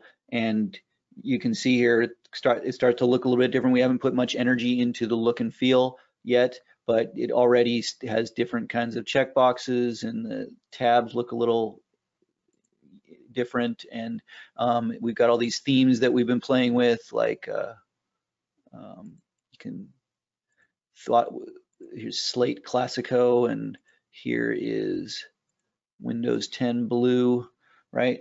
We've and so we're still in the planning stages of like do we do we make these things available to the user? Mostly we're trying to get it to work and it does work right? As you can see it works. Um, but then we have to figure out like okay when you pick should we allow the users to choose choose these? Should we change the way our buttons look? Should we change the entire way we navigate? Any things like that. So that's just a, a sneak peek at what what we're doing. But the point that I'm trying to make is that this activity codes program is not using the BDE. Um, it is using a more newer supported tool. Um, so we are getting away from that. Um, and as I said, we have this. We also have um, time card audit trail and a vendor listing. We have, you know, we've got, we've started building some reports um, just to just to prototype them, make sure they work, and then we're gonna have get other people involved to uh, to start fleshing out the the rest of the system. Okay, let's see here. Um, okay, Diane from Grays Harbor says I have a question. So back to accruals. Uh, comp U, when comp time is cashed out, the earn code we use is UP so that it will back the hours out of the comp back at 1.5. Um, yes, so that's exactly what I showed in the beginning uh, when we were talking about that. So um, if you, uh, let me run Grays Harbor. So there's a multiplier in the earn code screen. When you tie the earn code to the accrual type, there's a multiplier in there that says what to do with um, with regular hours versus overtime hours and how it and how it affects your um, your leave balances. So if I go to earn codes, uh, if Diane is accurate, she's got should have one called UP There it is. Oops. You comp use paid. So what this says is it's associated with comp time, and this checkbox means that it's going to reduce your comp time balance. And then all we need here is a 1.5. And now if any overtime hours that reference UP will now take 1.5 times the hours off of the comp time has no effect on the hours on the time card or what they get paid or anything, right? Um, it's just saying every hour I use, I use. Uh, this doesn't actually make sense to me. I might want to discuss it with you, Diane, a little more thoroughly. Usually we see it the other way. When you, oh, oh wait, this is comp used paid. Sorry, that's why. Okay. Usually we see it as um, in comp earned. Like I, when I work one hour and I want to earn comp, then if it's overtime, I get uh, 1.5, right? um, times that 1.5 hours, but I don't want to show that I worked more more hours than I did. Now, it also may be that your question is more related to the way that you at Grays Harbor interact with your payroll system, and that may be custom for you. So, um, so, but this this section that you said here should work if you put it in as overtime in the um, in the time card, and then use that 1.5 multiplier. Okay, Bruce from Thurston County in Washington, Olympia, Washington. Uh, we post receipts to inventory preferred to shop receipts, reconciliation. Okay, I recently got an invoice for a product at an incorrect tax rate. They did not reissue a new invoice. They issued an invoice to cost correction. Is there a way to do a cost correction without doing either a shop inventory receipt entry to remove the product to the incorrect price and add the product to the correct price or a shop inventory price adjustment? That's a good question. So basically, he did a he did an inventory receipt through an invoice. He, he entered an invoice and posted it to create an inventory receipt. And let's say he bought 10 widgets at a dollar, including tax. Okay. And then it turned out that the vendor told him, oh, they weren't a dollar, they were a dollar 20 because um, we used the wrong tax rate or something like that. Okay. So the problem there is that it, I mean, it's easy to get the the extra two dollars or whatever to the bars or or wherever. The trouble is that in your um, is that we did we average we did some average costing, and that's where you gotta you gotta decide how you want to do it. If you haven't been using that item and charging it out, then I would do exactly what you said, Bruce. I would enter a negative receipt for the exact same. I would just copy the line right here, just copy the line and, and create a negative um, quantity and it will and we'll back it out and we will sort of back out the averaging right?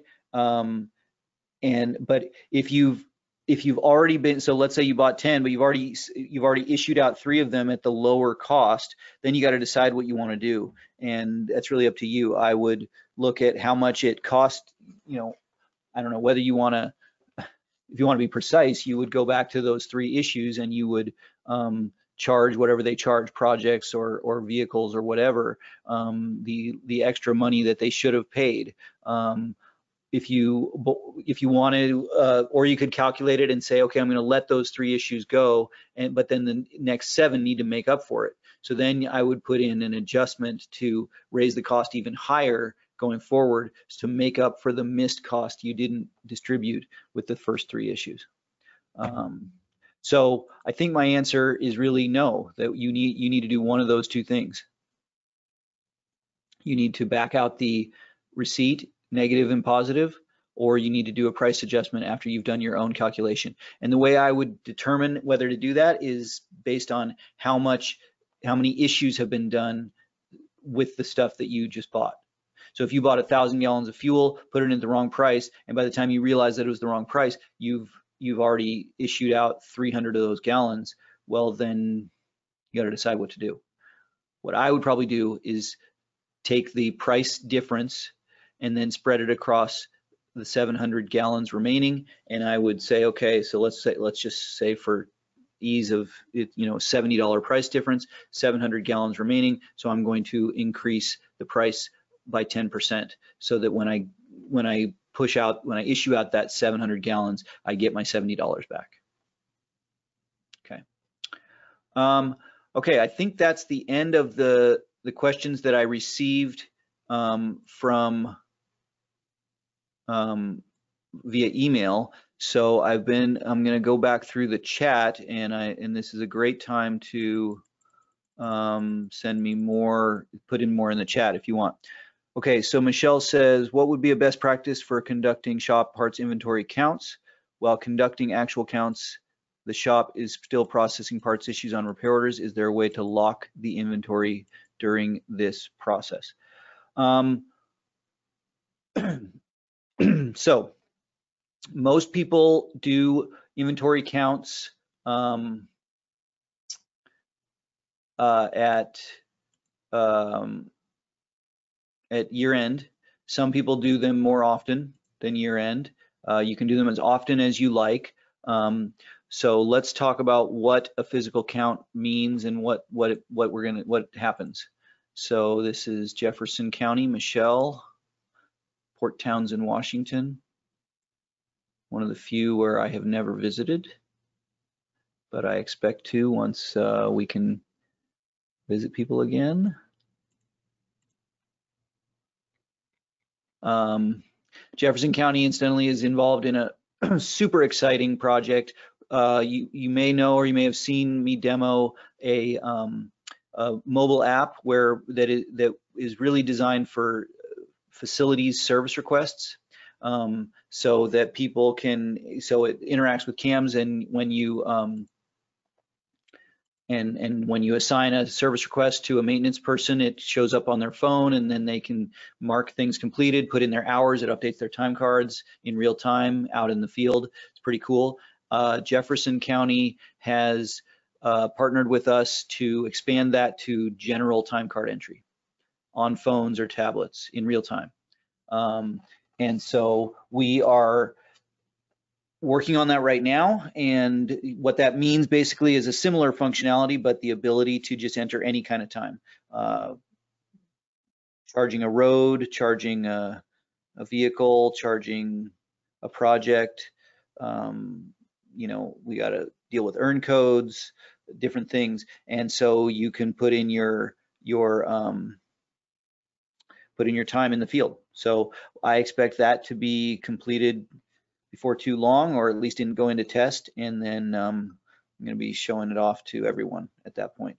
So, uh, okay, so here's my shop inventory master. So at some point, what Michelle's saying is at some point, whether it's monthly or quarterly or yearly, they want to um, they want to go out and say, are there actually 475 um, gallons of unleaded in the tank, right? So they might be dipping a tank, or they might have a readout.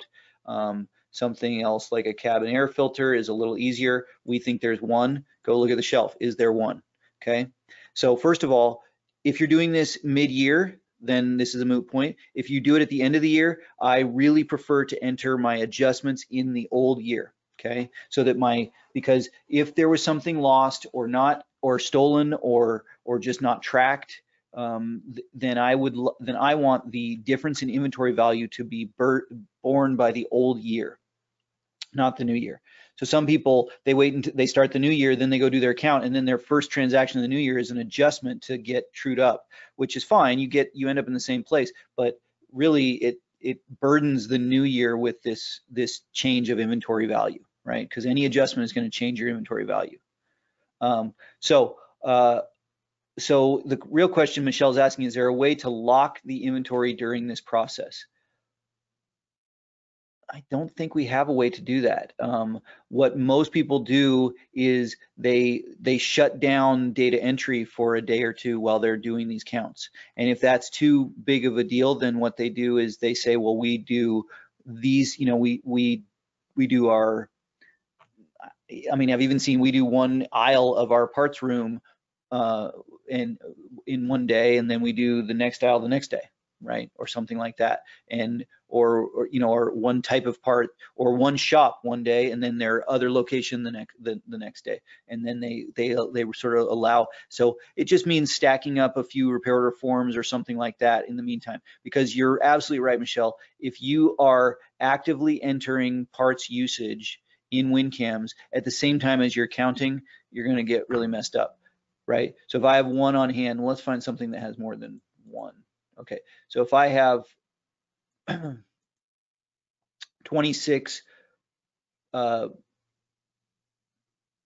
I guess, containers of brake fluid um, on on hand, according to CAMS, at four dollars and sixty cents, and then I'm and then I go out there and I'm counting, and then I, well, actually, I guess it could be okay, especially if it's live. If you're if you're entering them in issues, the live issues then well okay so here's what most people do. They most people they go and they run a um, they run an inventory listing report right? And they add a column for the actual count okay? And um, So they put an actual count there. And maybe they sort it by bin location, right? So if you sort it by bin, then some people have really detailed bin locations, so you can just walk down the aisle and and be in the right be it'll be in the right order. Okay, so um,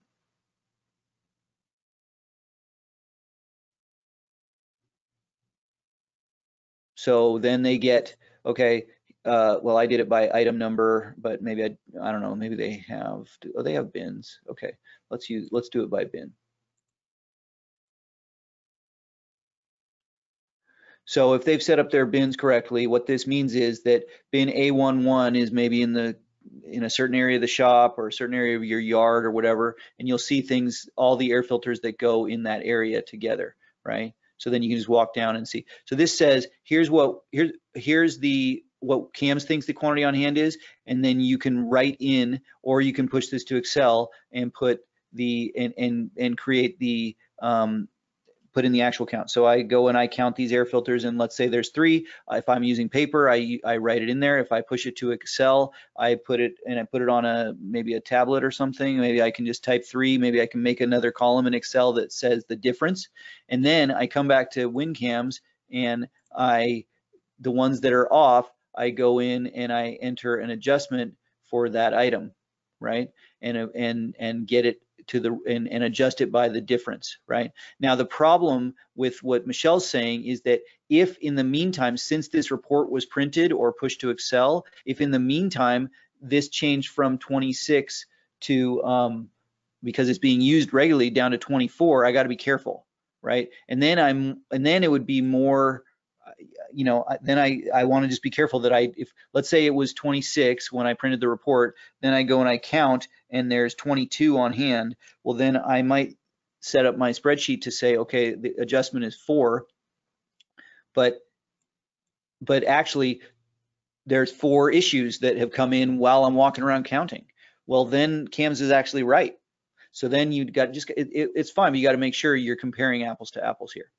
Now, so um, in the adjustment, note that each adjustment line, you either adjust the quantity or the unit cost. You do not adjust both at the same time because we can't handle the change in inventory value. So if you want to adjust both the quantity and unit cost, which some people do, they say, well, if the quantity goes down, I need to incre increase the unit cost so that I still, you know, that just because I lost them or stolen or or failed to track them, I still need to recoup that money, right? Well, then so so you you do the and when you are entering an adjustment you enter the quantity of the adjustment. So if i want 26 to go down to 22 i put in negative 4 when you're entering the unit cost that's why it says new unit cost. You actually put in the new unit cost. You don't put in the difference. If you want it to be three dollars instead of two dollars you put in three dollars. And then each line can have a value of change right? So if i go find my um so hadlock shop dot three and four brake fluid so Hadlock shop. So dot three and four brake fluid, it says there's 26 on hand at 460 and I want it to be negative four. Okay. Wants me to confirm what's going on, that my value is going from 119 down to 101. So negative value of neg or, uh, I'm going to complete the adjustment. Value I just I just lost $18. So that means if they were you know, hopefully they were used on cars and not tracked, but if they were, if they walked away or they were destroyed or they were in, I don't know, you know, so then some people say, well, I want to recoup that $18. So I'm going to get out my calculator and I'm going to uh, update the unit cost to make it higher on another line and make the unit cost, um, uh, you know, 485, right? I don't get the same amount back, but this can help help me, right? I would have, I would have had to do that right, but you get the idea. Okay, and then we also have um, we have uh, barcode scanning options, and one of that's one of the best features about the barcode scanner is it allows you to go around and if you have stickers or something on your shelves, you can just you can put it in count mode. You scan the the you scan the barcode, it knows what, what item it is, and then you just count and you put in, okay, there's 22. And then when you load the barcode scanner back into CAMS, that information, we will automatically create that, that adjustment, right? And so that one works even better for people still entering issues because what we are creating the adjustment against is at the time you dock it. So then you can be going around and counting for three days, and then you say, okay, everybody stop for just a second while I dock, and then it'll compare the 22 to the current value.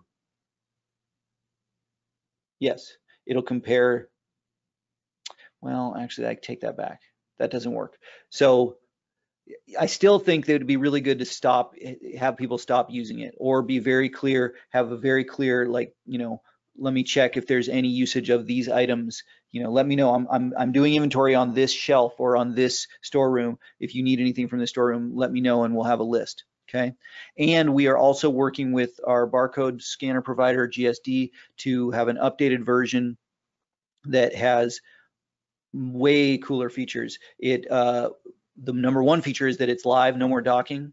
So you would put in an issue, you'd just be able to scan the your repair order form and scan your part, and it would put the part right on your repair order in real time, Bluetooth, um, or or not actually not blue not Bluetooth. It's uh, it's through your Wi-Fi, and um, and the other thing that's cool is that it can actually do lookups. So you don't so it can say, okay, well, it can tell us some things about that part it can, like the name of it, or it can you can look up a, a, vehicle number if you need to, that kind of stuff. So we're upgrading that.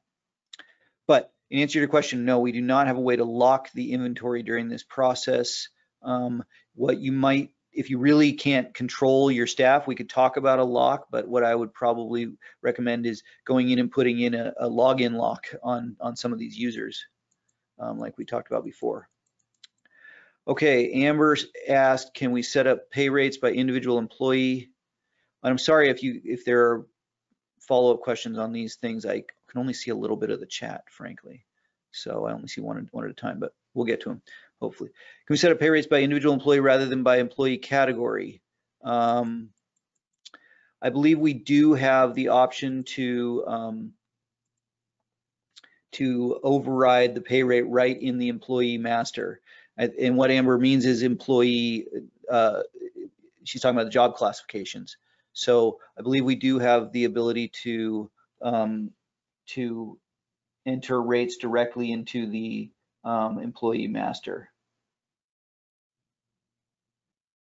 Um, and that's particularly because some of our clients use bands. They call them bands, and that means if you're a if you're a, a accounting technician one, that we can't say how much you make necessarily, um, but we know you make between this range, and then it's a, I guess it's a subjective thing how much you actually would make, and so, um, so then you that in that case, you we can't just pull your your uh, pull it from your um, from your job class. We would actually you'd have to go in here and and type in here. So I can turn that on for you or discuss the, the details of that if you don't want to go through the idea of setting up job classes and steps and things like that. Okay. Uh, Chrissy, if you have a multiple prepayment from a client who has multiple projects, does post credit balances let you choose which prepayment goes to which invoice? Um, no, it does not. Um,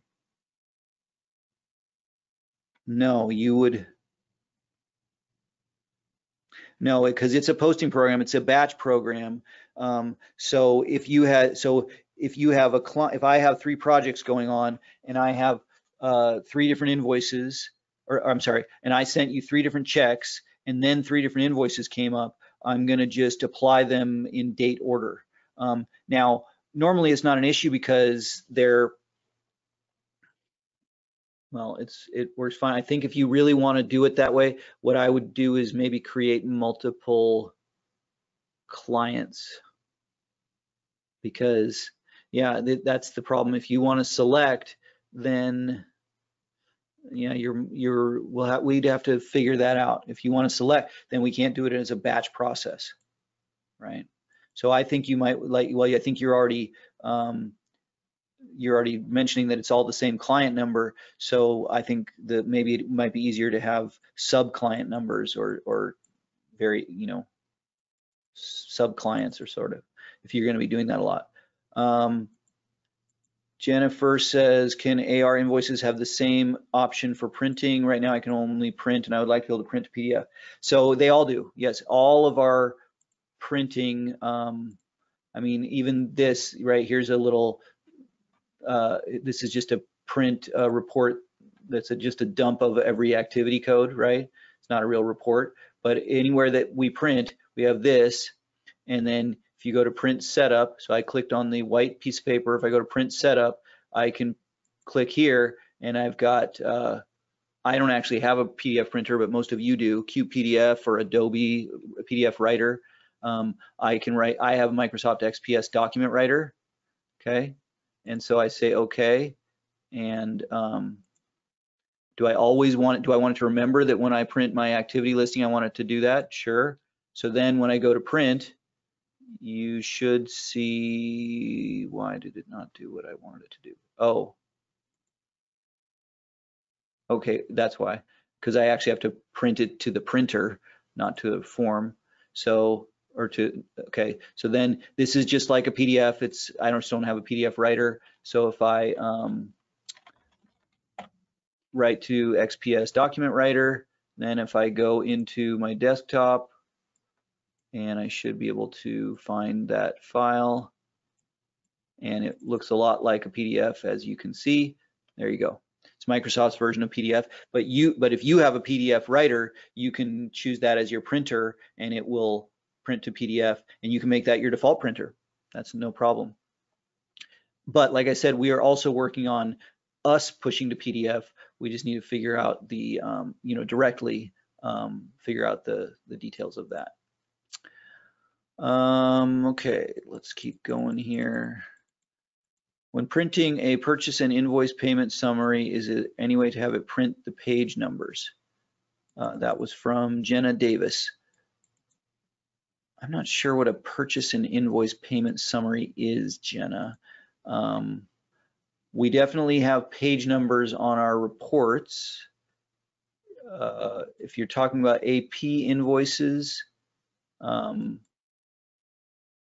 I go into, I'm not sure, it could be that this is a this is a very specific report for Jenna or maybe a custom report that I'm not remembering. But when we print, um, maybe, maybe this is your claim form, I'm wondering. Um, if so, the answer is yes. We do this on forms a lot. We certainly do it in any uh, any of our regular reports.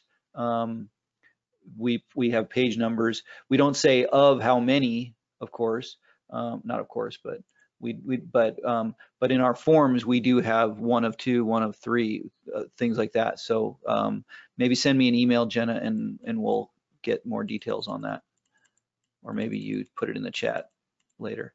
Uh, Brenda asked, how does an inactive employee status affect multi-year reports? Is there time included on a time card audit trail or project reports?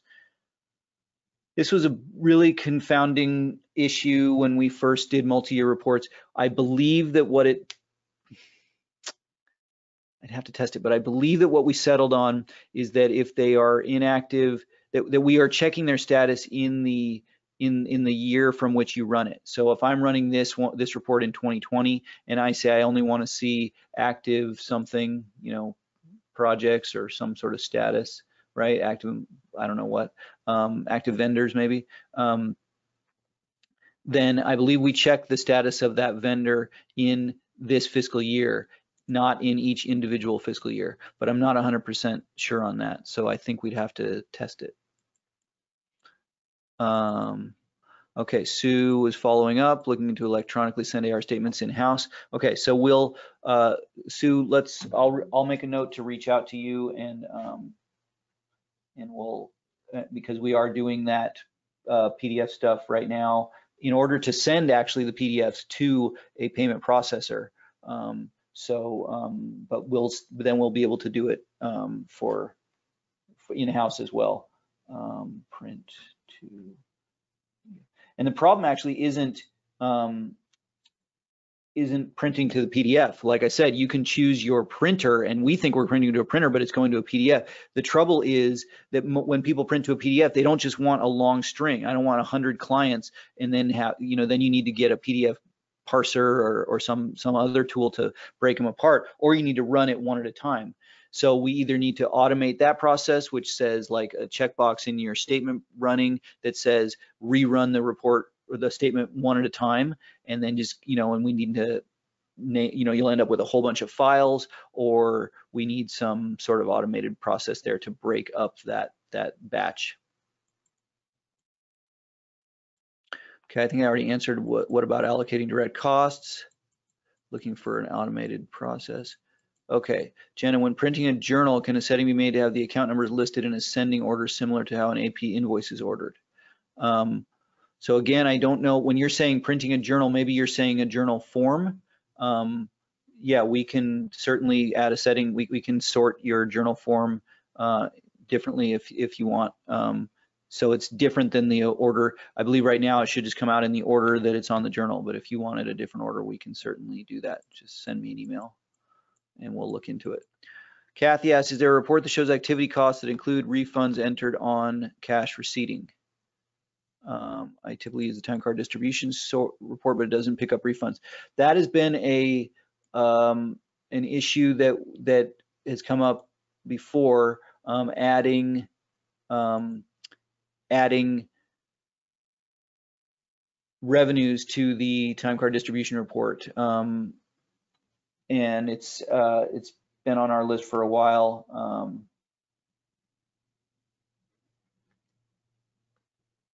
and we also need to change the name of it because it's much bigger than a time card distribution report. Um, so yeah, we need to add cash receipt revenues or, or AR revenues to, to these as well, to this report as well. Um, but usually when you want to see that kind of stuff, you're, uh, who was this? Kathy. Um, usually I, I prefer when I'm thinking about, so, you know, I've probably, you probably heard me talk about the posting curtain. So you have source documents, time cards, invoices, equipment usage, materials, journals, et cetera, et cetera. AR invoices, cash receipts, et cetera. And then, and those are all coming in, you think of it like a big, uh, and they all come in from the outside into a central place, a project, a vehicle, an AR client, a, a, a whatever, right? And so you usually want to think about it from that perspective. Um, so, so when you're talking about, I don't care where the where the source was, I want the activity that happened on this vehicle. Well, then, of course, doesn't matter where it comes from. If it hits that vehicle, we should be able to show it. If it hits that project, we should be able to show you revenues and expenditures. If it hits that, uh, I don't know, roads don't usually have revenues, but you know something else. So I would be look want to be I want to I want to dig in further into what you're you know what you're actually reporting on and see if we can sort of look at it from the other side. You know, a lot of people talk about the source stuff because they want a great deal of detail, but that's also where I recommend a project cost source report or a uh, you know, our cost source reports will take the what has been posted to that ledger and then dig out the the, the source documents. So, um, but the so so I would maybe try to steer you away from the time card distribution report, but I need to learn more about what you're trying to do. Uh, purchase and invoice payment summary references when you are printing the payment of an invoice, AP invoice, i.e. an IPS. You know, see, these are all county specific terms. No one else knows what an IPS. So, okay, you're talking, so I think you're talking about what some people call a claim form, some people call a voucher form, whatever. It's uh, it's from the invoice itself. Um, and and you can, or you can print, you know, we're basically printing a customized form. So if I think you want a page number on there, um, yeah, we certainly can do that. Um, the best thing to do would be to send me an email, but I'll make a, a note of it. Um, uh, page numbers on claims. Claims, vouchers, uh, request for payments, authorization for payments, whatever they're called. Uh, okay, there we go. All right. Oh, it's 1202. Wow. Um, okay, I don't see anything more in the chat. So, uh, and I think this is when we were supposed to end anyway. Uh, we can do it again. If you have any questions at all, you can always email me, Ayren at cascadegovsoftware.com. My first name is A-Y-R-E-N. Um, and uh, or you can email um, support at cascadegovsoftware.com um, if you have any questions at all, and we'll try to route it to the correct person. Um, thanks for all your questions, and uh, we will. The next webinar scheduled is September 8th. Uh, AR and cash receipts. We also have, I also have a gener general, general basic training webinar coming up on September 15th and a fleet webinar on September 17th. Those are all day webinars and those do cost money, but we're gonna go really in depth into how to set everything up and, and all that. And then of course, we've got, we've now moved our um, main user group conferences because we unfortunately cannot go uh, meet in person with you know, the, all the laws and, and all that. It's not safe. So we're moving our user group conferences to online. It's still planning for two days. I'm still going to do a lot of the same stuff and uh, the, cut the price in half. Uh, and uh, let me know if, if you you should have already received an, an, invitation to that, or you can go to our website cascadegovsoftware.com and um, see more information about it. Thanks everyone uh, for attending and hope you have a great day.